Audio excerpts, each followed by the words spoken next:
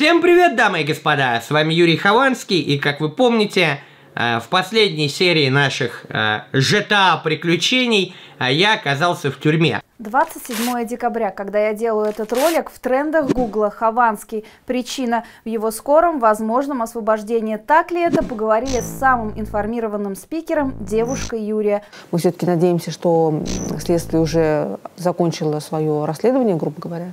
Оно ознакомилось с нашими доказательствами. Поняли, они поняли, что, очевидно, наши доказательства гораздо более весомые, чем их.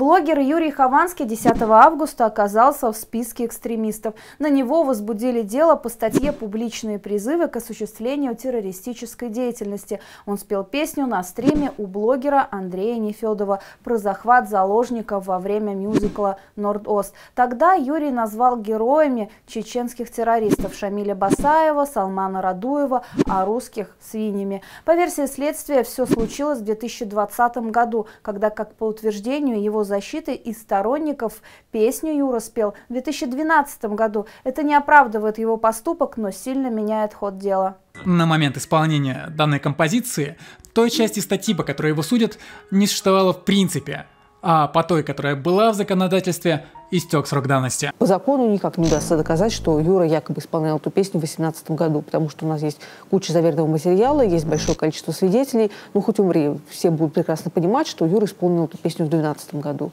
Записи от 2018 года нет, что делать? Мариновать и дальше Юру СИЗО, э, когда он э, открытым текстом рассказал о планах следствия, когда опубликовал э, то, что с ним случилось.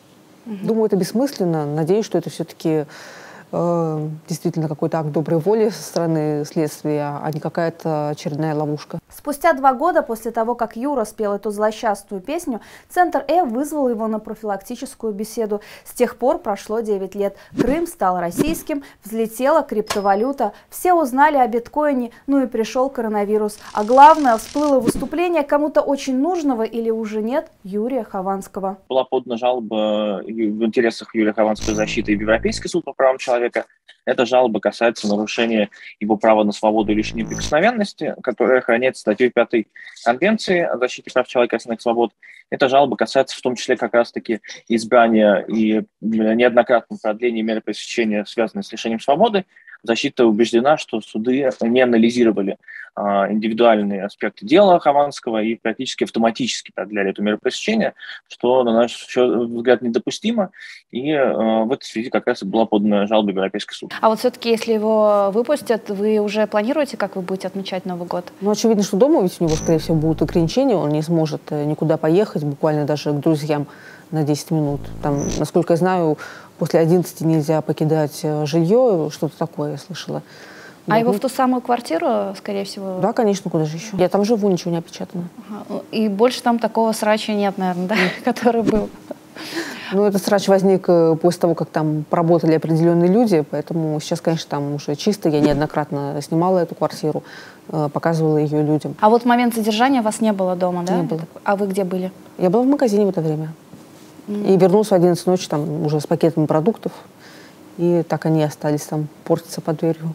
Основной свидетель обвинения – видеоблогер Андрей Нарцев, он же Нефедов. Именно он дал сведения о Хованском. Я никогда эту песню не пел перед жертвами. Я пел ее перед э, группировкой нацистов и радостным Андреем Нефедовым. Правда, по имеющейся информации в сети, он несколько раз менял показания и путался в деталях, но кажется, этому есть объяснение.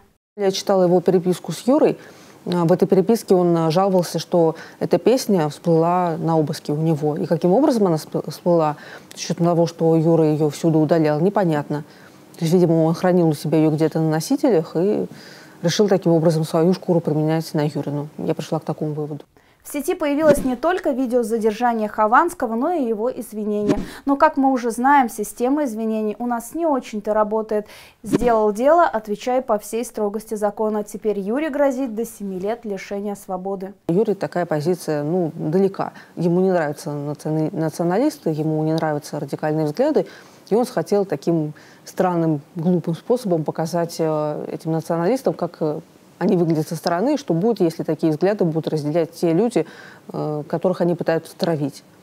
Вот, и исполнил такую песню, собрав эту песню буквально все клише, которые только можно было вообще собрать о террористах. Если бы этот стрим все-таки сохранился, я думаю, любая экспертиза показала бы, что это совершенно вырванные из контекста слова. Ну, я думаю, она так и покажет, на самом деле. До тюремной истории Хованского о Марии Нелюбовой было не слышно. Интересно, что их связывает и почему о девушке Ховы, которая спустя 7 месяцев сейчас пытается активно его защищать, прилагая максимальные усилия, стало известно только сейчас. Да и сам блогер в последнее время до ареста казался одиноким и каким-то подавленным. У нас тут произошла достаточно интересная ситуация. Я впал в запой на месяц или... Я уже не помню, когда это началось. Юра очень упертый в ряде вопросов. Конкретно на этот момент я практически никак э, не могла повлиять. Я пыталась какое-то время заменять ему вино компотами, грубо говоря. Но если Юра сам не хотел, то повлиять на это практически не было возможности. Насколько я знаю, он всегда любил алкоголь. И это началось задолго до меня, очень-очень задолго. Именно запой был, когда начали ему угрожать, э, разафишировать его адрес. Это прям было для него ударом. Как арест Юры повлиял на ваши отношения? Юра стал гораздо романтичнее, чувствительнее. В этом плане повлиял скорее даже положительно. Но, конечно, лучше бы такого бы не было. А вот как мужчина, в чем он вас привлекает? Вот Интеллектом. Я очень ценю в мужчинах интеллект. У него прекрасное чувство юмора, у него очень такой не то чтобы даже циничный, скорее, циничный реалистичный взгляд на вещи. И мне это в нем нравится. Человек не витает э, в каких-то иллюзиях, он честен с собой, с окружающими. Я люблю таких людей. У нас просто были онлайн-проекты, мы играли в игры, там мы познакомились. Странных моментов в уголовном деле Юрия Хованского, конечно, много. Вот Мария не только его девушка, которая выступает в защиту своего мужчины, но и оказалась свидетелем со стороны обвинения. Я свидетель со стороны обвинения, потому что меня вызвали вместе с Юрой, ну, привезли вместе с Юрой в следственное управление, якобы, чтобы ему помочь, сказали, поезжай с нами, дашь положительную характеристику. И теперь формально я свидетель обвинения обвинения. Это может э, э, иметь проблемы, потому что когда Юру отпустят на домашний арест, вот э, как бы нам не запретили жить вместе из-за того, что а. я свидетель. То есть я сейчас собираю документ о том, что я уже давно проживаю в этой квартире. Я вы, выпросила справку управляющей компании, собираюсь предоставить квитанцию по оплате коммунальных платежей, которые я платила все это время. Надеюсь, это суд убедит, что я не какой-то там ценный свидетель обвинения, на которого может надавить Юра. Его же долгое время не пускали на домашний арест. Почему? Потому что может найти каких-то свидетелей, надавить на них, видимо, ну, этого лжесвидетеля Нарцева и вот этих э, странных типов. Разговор с Марией получился позитивным, с настроем на то, что Юру все-таки отпустят. Ну а если все-таки нет, статья ведь серьезная, что же будет тогда? Напишите в комментариях. Это будет скандал.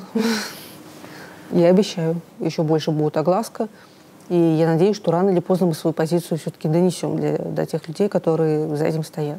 Потому что сколько можно. Все все видят, каждый их шаг, он э, известен. Если вдруг вы досмотрели это видео до конца, то вот вам справочка. Юрий Хованский для миллионной аудитории в интернете эпатажный персонаж Ютуба. Ему 31 год, родом он из Пензенской области, но давно живет в Петербурге. Хова за это время успел побывать стендап-комиком.